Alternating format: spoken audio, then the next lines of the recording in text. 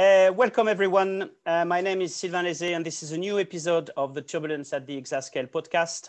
Uh, if you're not familiar with the podcast, uh, the aim is to gather the view of the community regarding exascale computing for turbulence research in the UK and try to see what are the challenges and opportunities about exascale computing for uh, turbulence research. This podcast is part of the uh, Excalibur initiative, which is a UK strategic priorities fund which runs uh, until 2025. And uh, the aim of the Excalibur initiative is to um, focus on delivering research and innovative algorithm uh, development to redesign the UK high priority simulation code to fully harness the power of exascale computing. So at the moment, um, part of the Excalibur project are uh, working groups that are focusing on uh, different types of software to study different type of uh, problems. And I am the lead of the uh, Excalibur project on turbulence at the exascale. I'm also leading the UK Turbulence Consortium. So um, all the, uh, the Excalibur project and the UK Turbulence Consortium are uh, strongly interconnect with each other. Uh, and finally, I'd like to say that the Excalibur uh, program is led by the Met Office, the UK Atomic Energy Authority, and the UK Research and uh, Innovation.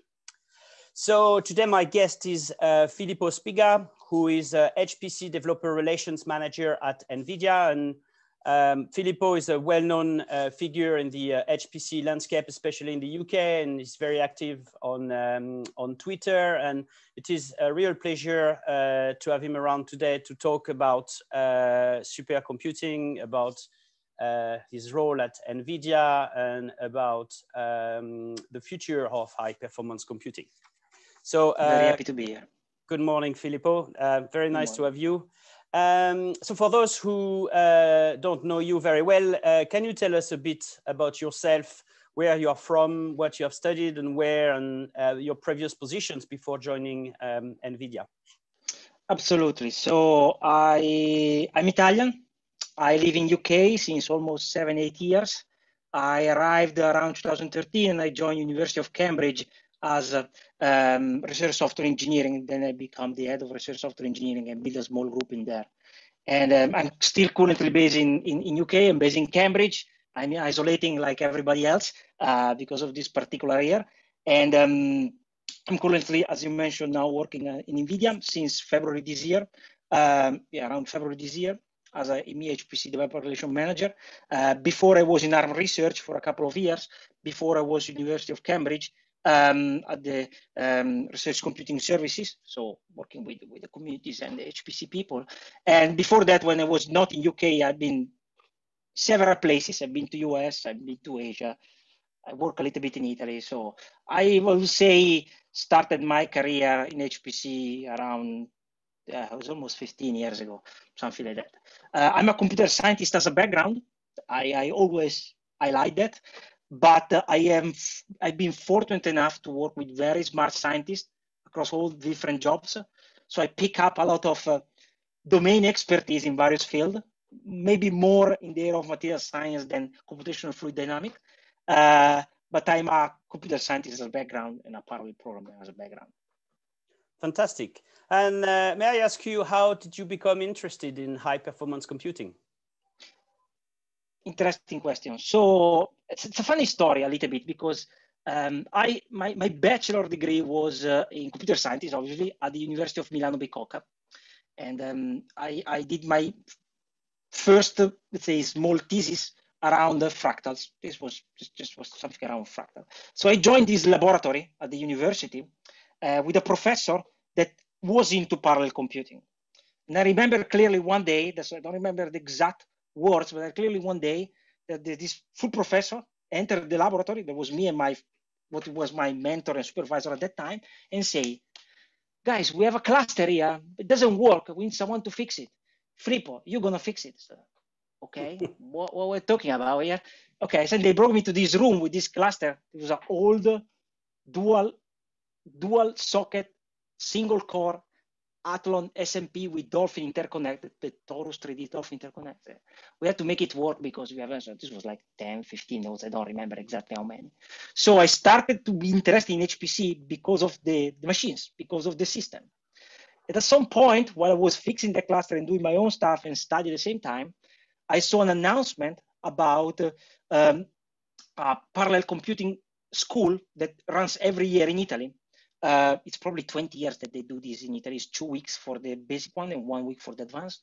And um, and so I say, oh, this is interesting because I'm supposed to, to, to manage this machine. I have no idea how to program it.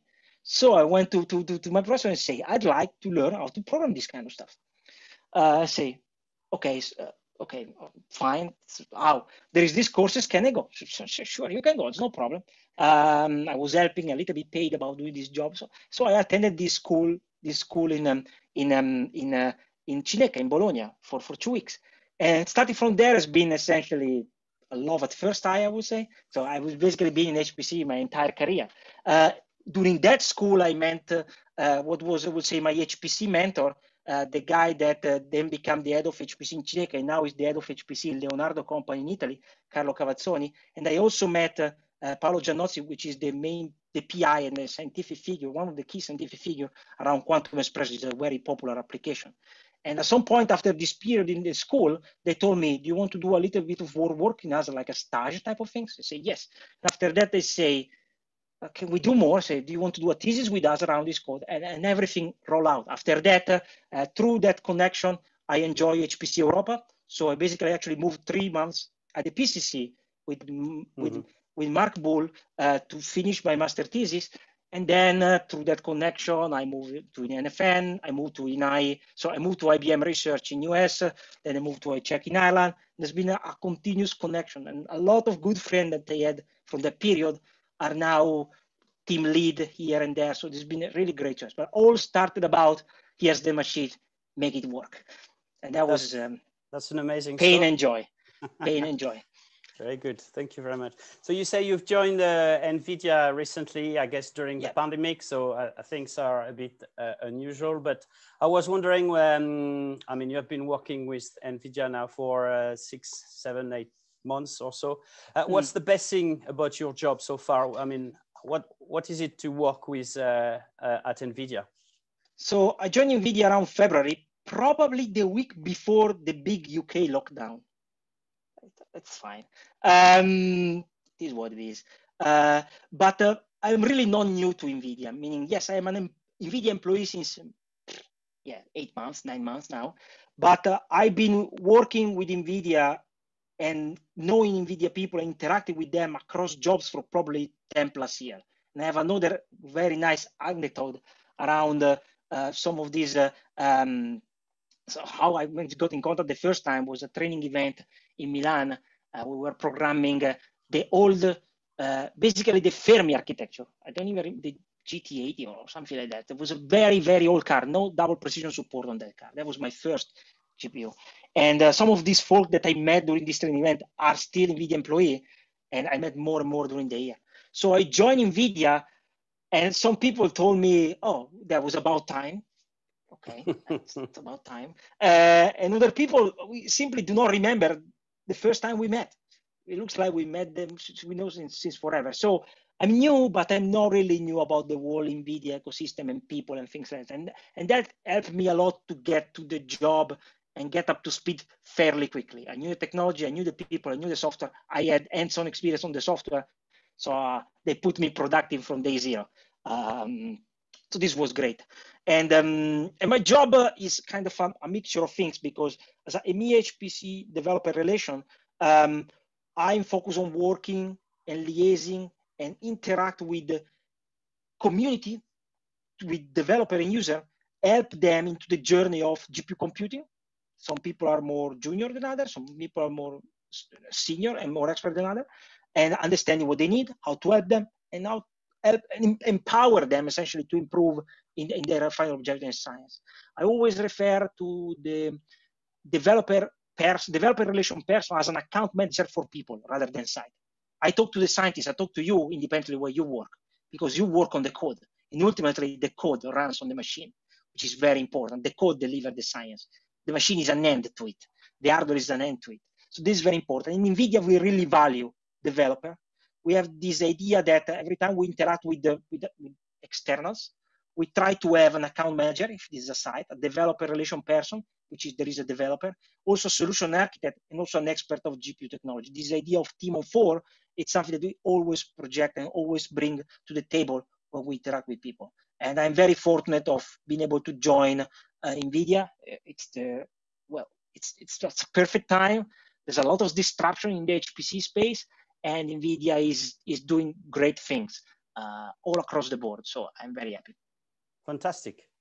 Um, I have a very general question for you now, and uh, well, sure. Um, uh, can you tell us about the more recent announcements um, from NVIDIA uh, regarding uh, future hardware or where NVIDIA is mm. heading with respect to exascale mm. computing and mm. all this? Mm. Um, mm.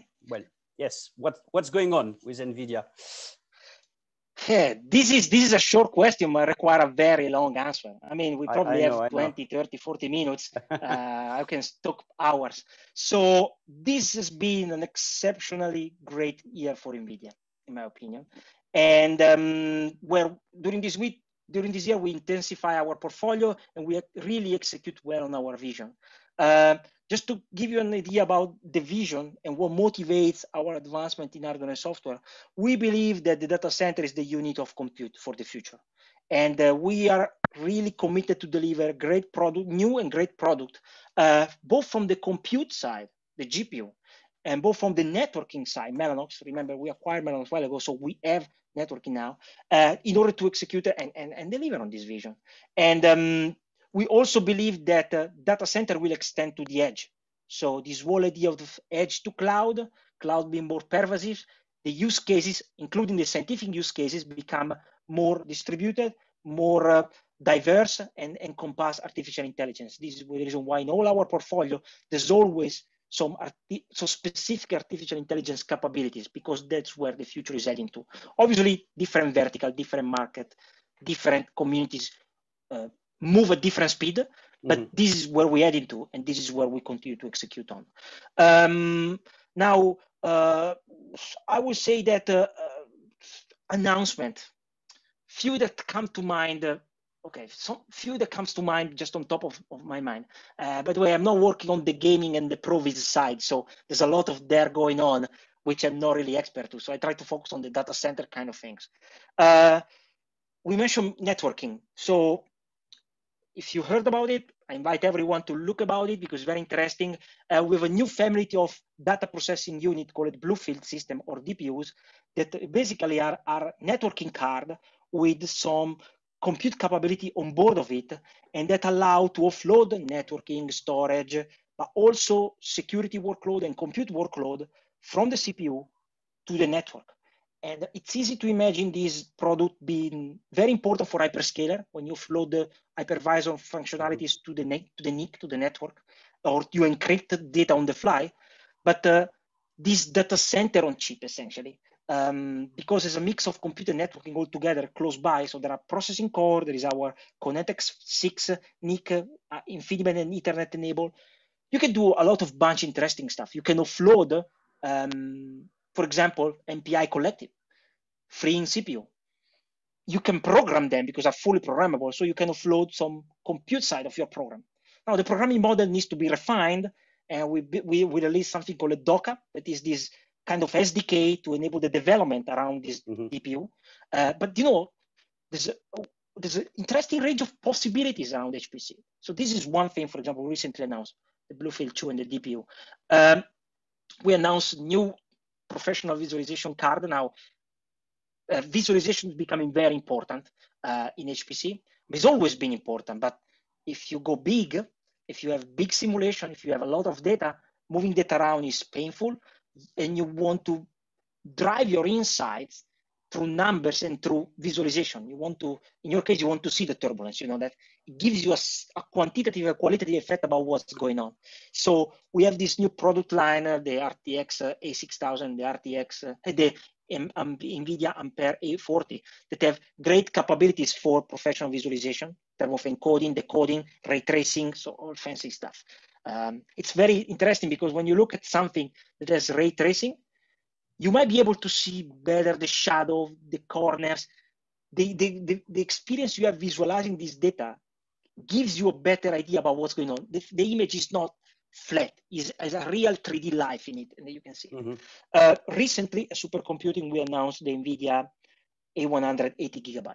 So it's an extension of our product, but instead of 40, 80 gigabyte. So um, it's been recently announced. So it's the same updated version of the uh, Ampere base A100, uh, but yes, 80 gigabyte of memory rather than 40. And so we doubled the capacity of the card. Uh, we also improved the memory bandwidth because we added HBM2E. Now, uh, bigger memory means bigger model, and uh, higher memory bandwidth means better time to solution for memory bound application. So you have an improvement for this memory bound application in the, in the, in the simulation time. But you know, if you're not really bound or strongly bound by memory bandwidth, you still have a lot of capacity. That means more throughput. So you can do double of your work with the same number of GPU, or mm-hmm. you can use less GPU to do the same amount of work, depending how you look at, at, at, the problem. So this is great, and this is something that people ask us because a lot of codes, despite our advancement, for example, with unified memory, a lot of code are bound by the amount of memory on the GPU. More GPU, more work can be done. This is some of the answer in hardware. Software. Software is very important for NVIDIA. I mentioned DOCA for the programming the DPU.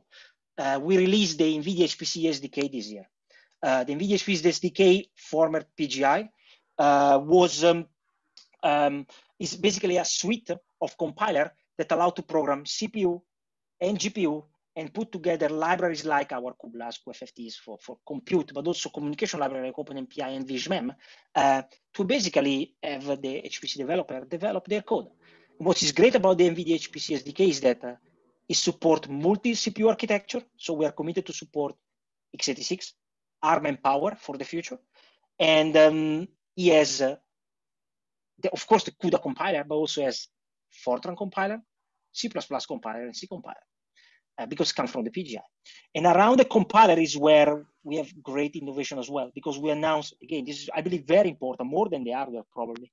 Uh, we announced that uh, we believe that the future of parallel computing goes through standard like OpenMP or OpenACC. We will support OpenMP Flow Target um, of um, Directive going forward, or at least a subset of them, because let's be honest, OpenMP was born when there was no GPU, or GPU were at the very beginning, is designed in a way that does not really uh, um, fully exploit and fully leverage the massive parallelism of a GPU. But we have OpenACC for that. But uh, we believe that uh, the future goes through standards that are very widely adopted, like the C++ standard, the Fortran standard. So we so we we announced the committee to support C++ 17, C++ 20, uh, the standard library, the parallel standard libraries, but also the modern Fortran construct like do parallel, because Fortran is very important. So this is great. On top of this, you add uh, things like um, Rapids for data science, advancement there, things, things like uh, SIMNet that is um, a toolkit to do high accelerated simulation using uh, the so-called physical informed neural network. So there's, there's a lot going on. This year we announced that we're gonna acquire ARM. Uh, so there will be great news going forward. But supercomputing, uh, we make a, very clear announcement that we are committed to expand and support the ARM ecosystem, announcing, announcing that we are partnering with a lot of ARM SIP or silicon provider to support the GPU on that. So there's a there's there's a lot of stuff going on. Um, there's really a lot of stuff. There's there's not enough time to talk about all of them, to be honest. Oh, that was great to have uh, an overview of uh, what's going on uh, at NVIDIA yeah. in terms of uh, of novelties. So thank you very much for that. Uh, I just want quickly to focus uh, a little bit more on what's going on in the UK. So mm-hmm. I, I, mentioned that this podcast is part of the Excalibur initiative, and I was wondering how NVIDIA is involved in the in the UK Excalibur and in helping the UK um, developing its uh, supercomputing uh, capabilities. Excellent. Uh, first of all, by someone being in the UK, um, in the UK, in the UK ecosystem, in the, the HPC UK ecosystem, uh, as a vendor, as a technology provider, and as a academic or someone close to academics, I have to recognize that UK is really great in software. Software and the advancement we do in software is a great asset for us, not just from a RSE, maintainability, uh, reproducibility, also from the core competency in very key domain. It's really great. And um, we also have legacy around hardware. I mean, uh, you mentioned ARM. ARM is, is well was is still a UK-based company. Um, NVIDIA has engineering present in UK. Um, a lot of a lot of let's say a lot of companies that became mainstream or some some of the companies that developed technology that became mainstream in HPC, like for example ClearSpeed, were UK based. ClearSpeed was in Bristol. So there's a lot of legacy in both in hardware and software.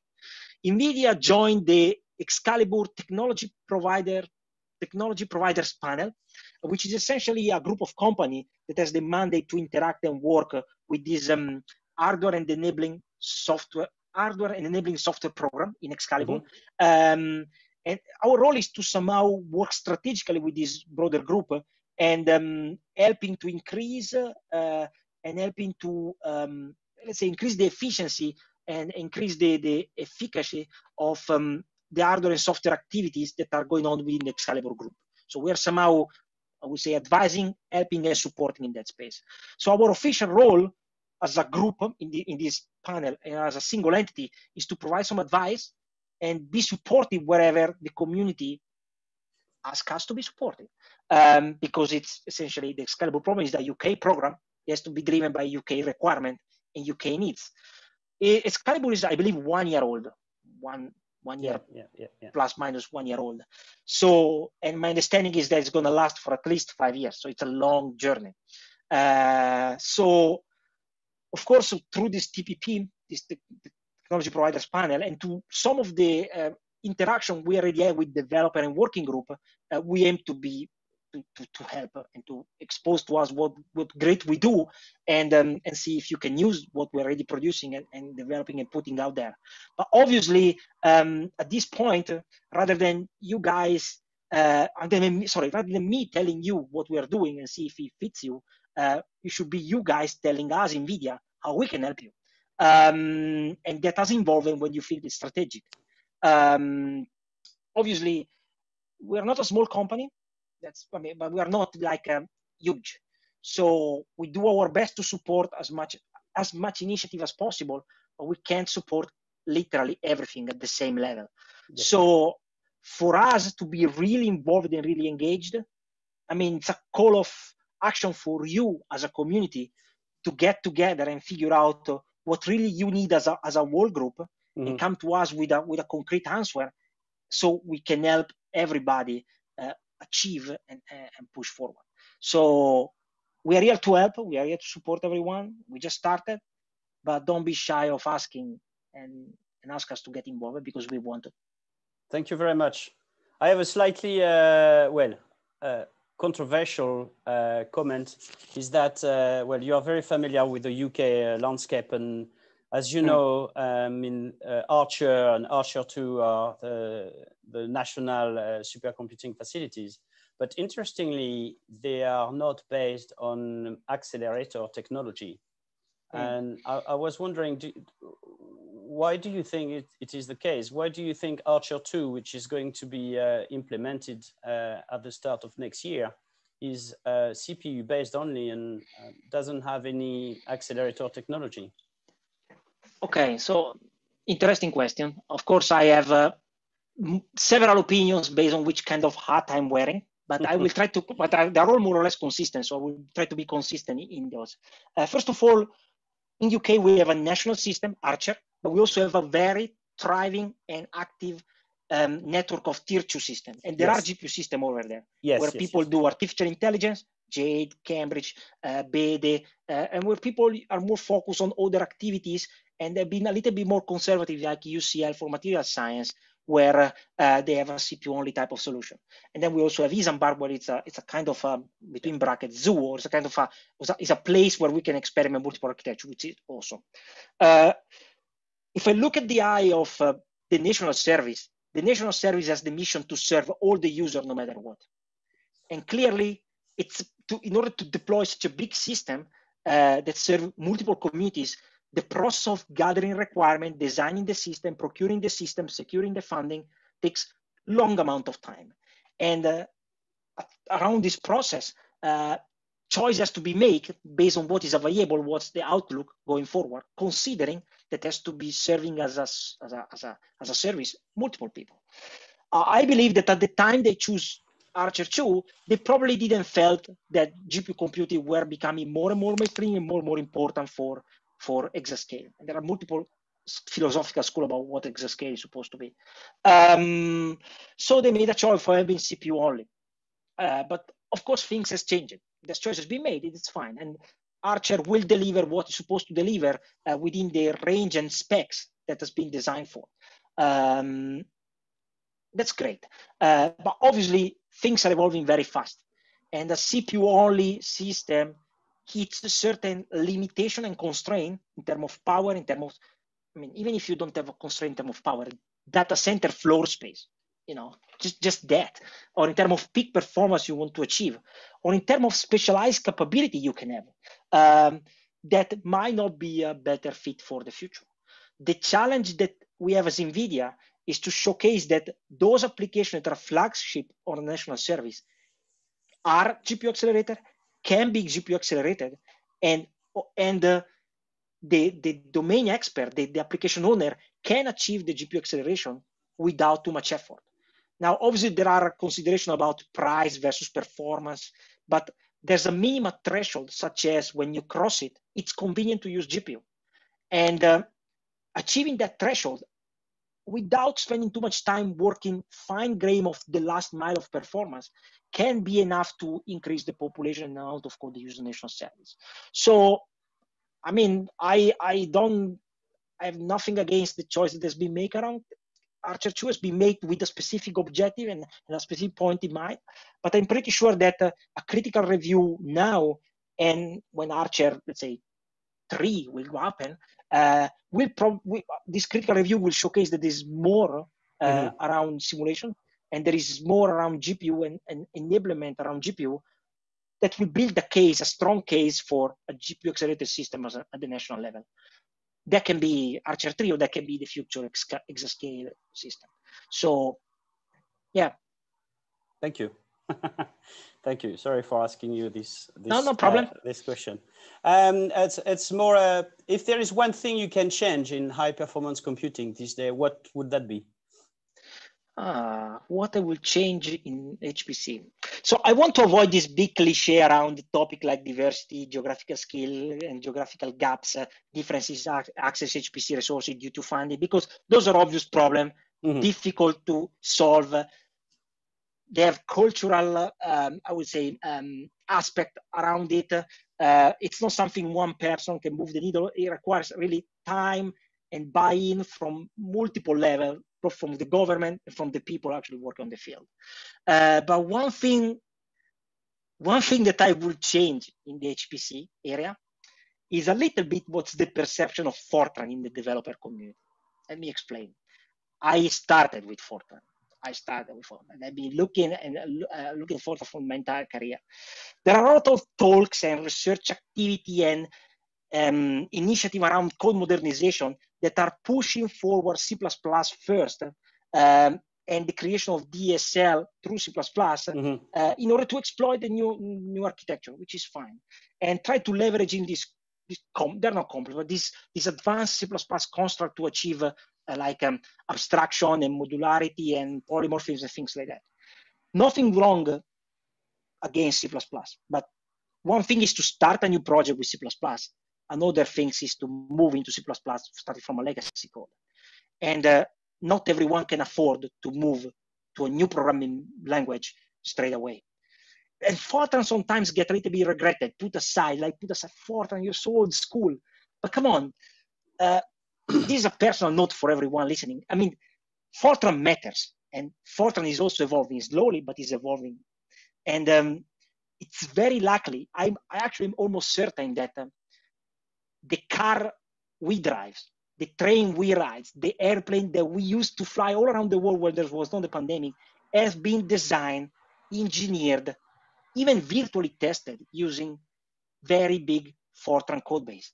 In science and engineering, including CFD, including um, computational fluid dynamic, uh, the amount of Fortran code is just mind blowing. There's just so many yes. flavors, so many stuff. So Fortran cannot be regretted. Fortran is great. We should really value Fortran. And every time we face a challenge about my code is old, I need to move to exascale. What I can do, we should not start with the, oh, you can change in C++ and everything will be easy in terms of portability and things like that.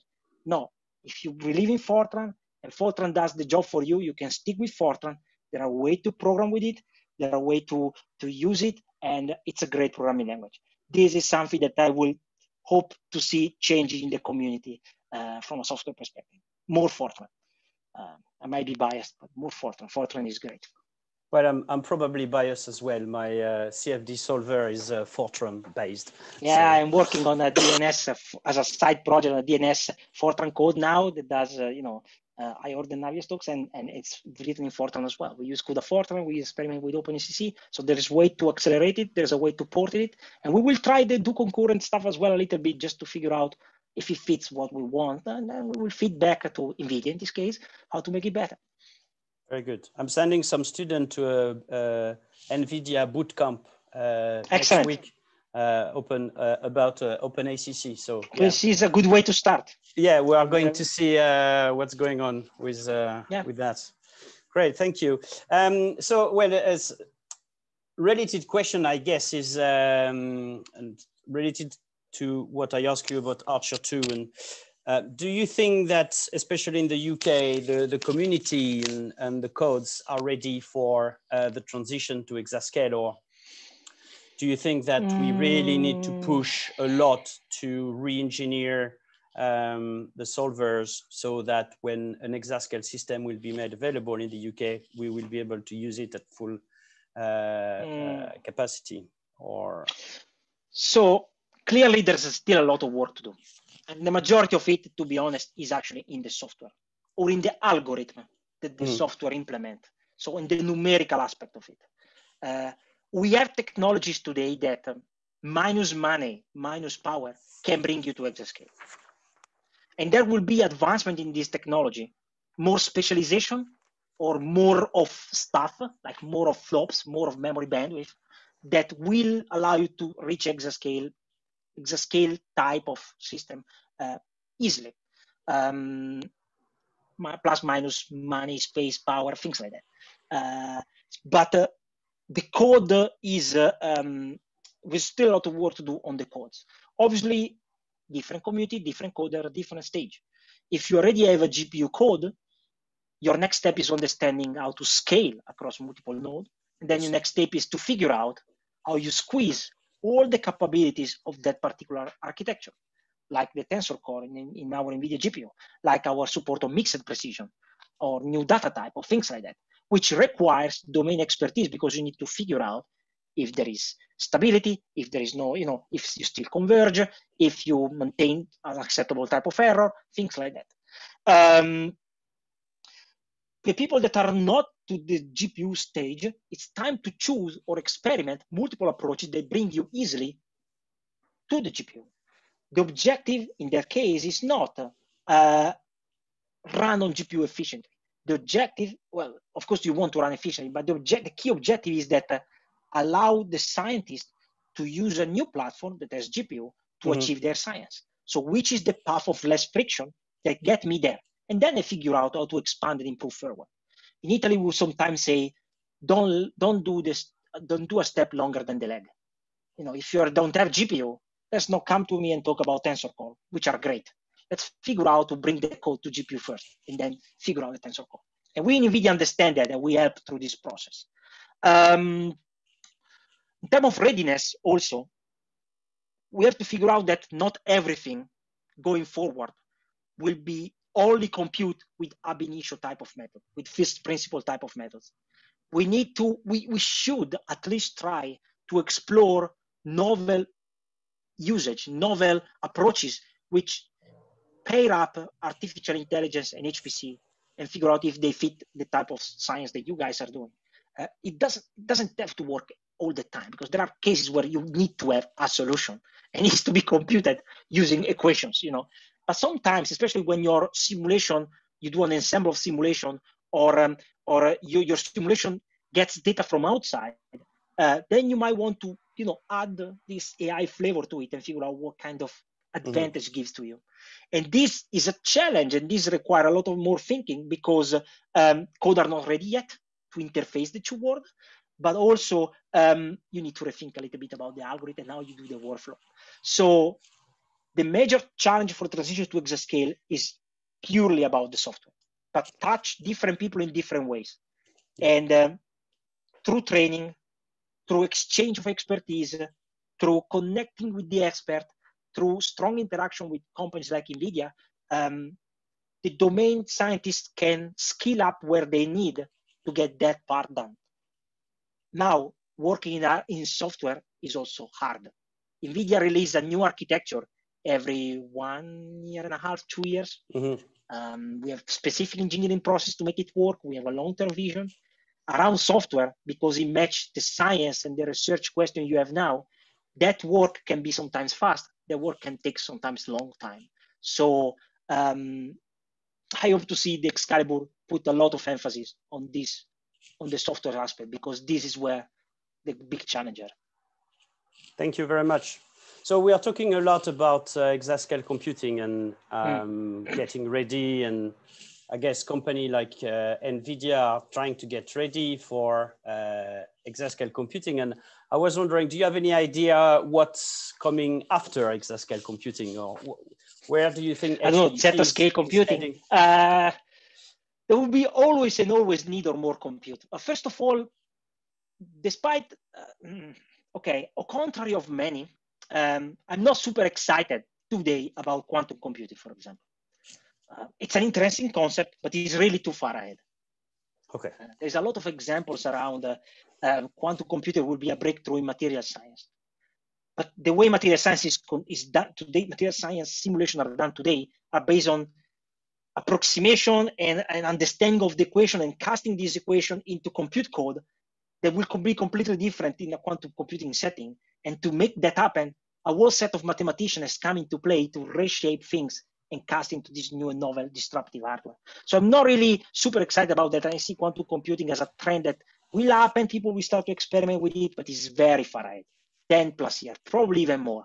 There's a lot of startup, a lot of technology, but it's not even practically speaking, it's mm-hmm. getting way, way.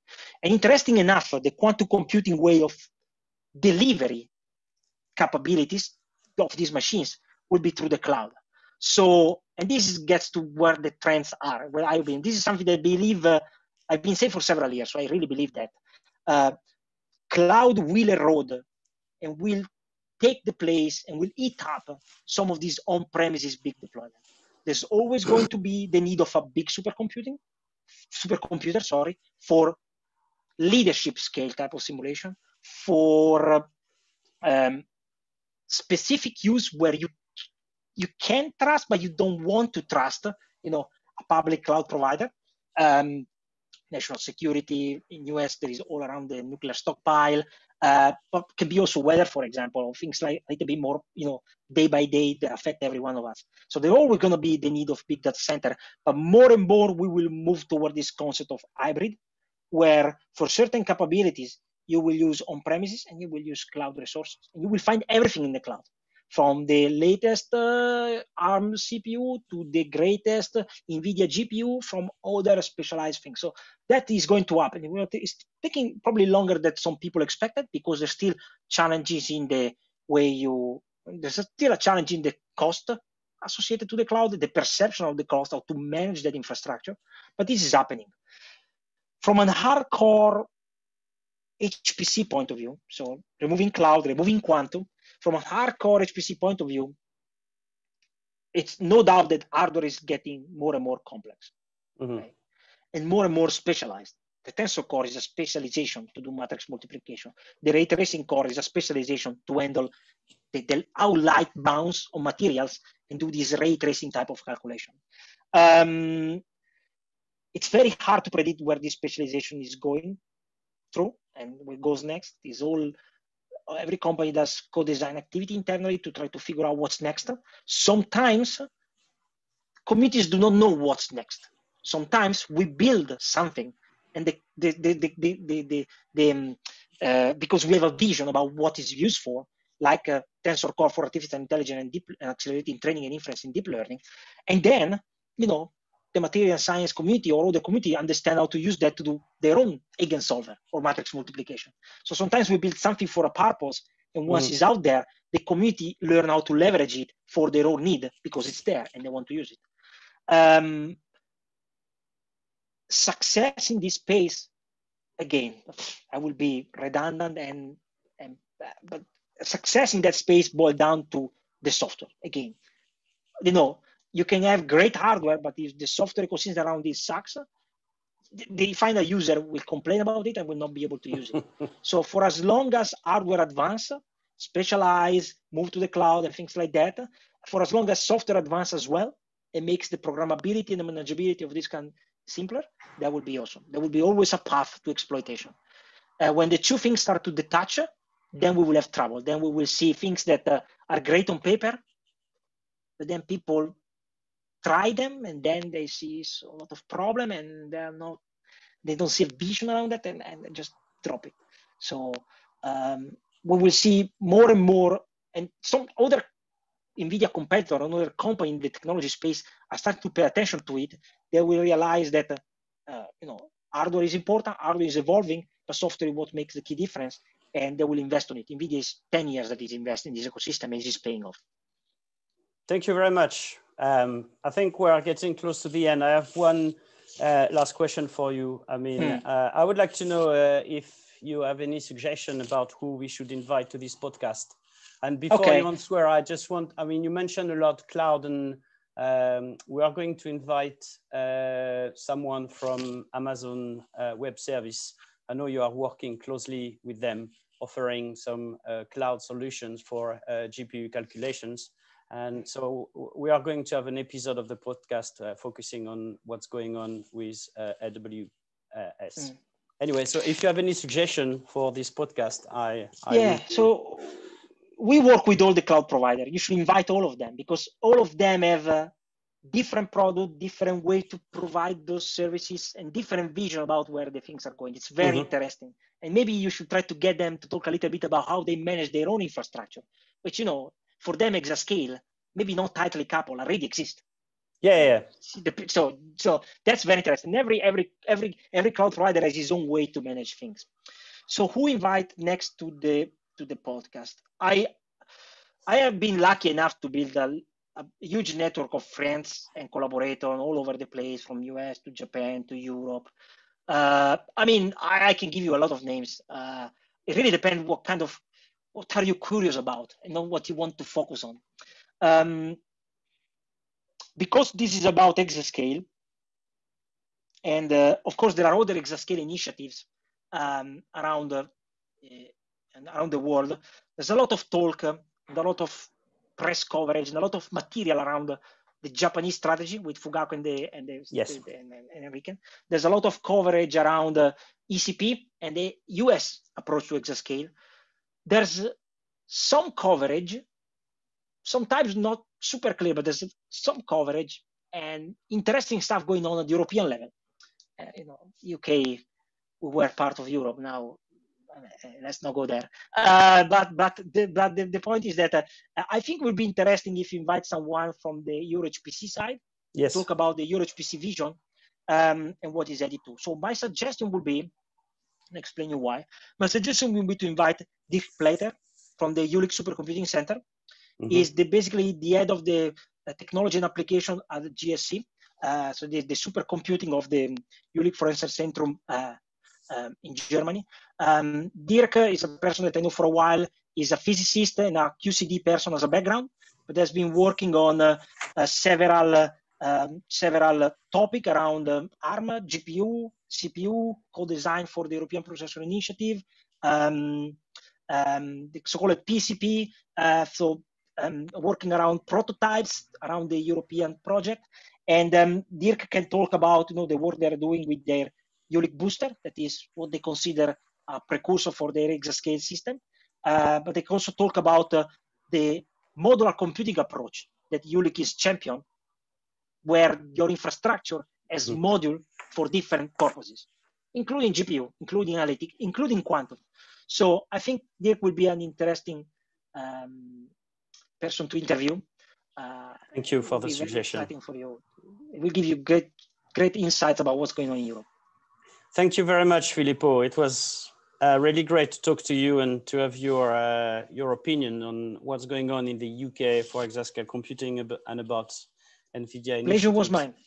Um, so if you want to listen to uh, this podcast, um, best is to go on the UK Turbulence Consortium website. It's just UK Turbulence at co.uk. And uh, the podcast will be made available on uh, SoundCloud and on YouTube. And you will find all the links on uh, our Twitter account, UK Turbulence, or on the UK Turbulence website. Thank you again, Filippo, for your time. It was great. Thanks very much for having me. And, uh, and I will see you uh, for uh, an episode very soon. Thank you. Absolutely.